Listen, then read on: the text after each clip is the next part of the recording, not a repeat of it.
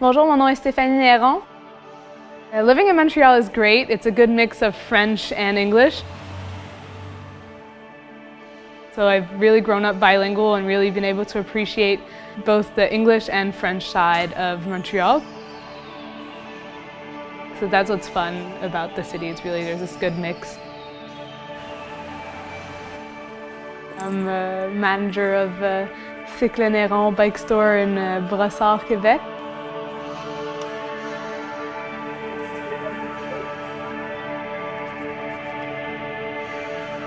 So the, the Grand Défi Pierre Lavoie is actually uh, le 1000 km, so the 1000 kilometers.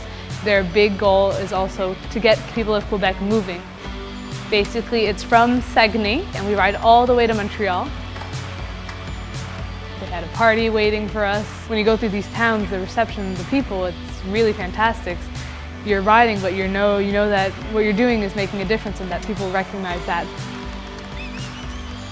we decided we're going to make an all-girls team. We were five newbies who had never done this, so we got a lot of support, a lot of help from the other people. And it was fun to just be in a, to show that we could do it too. We can ride just as fast, just as well, just as hard as the boys can. And it's a really great event, and actually I'll be doing it again for next year.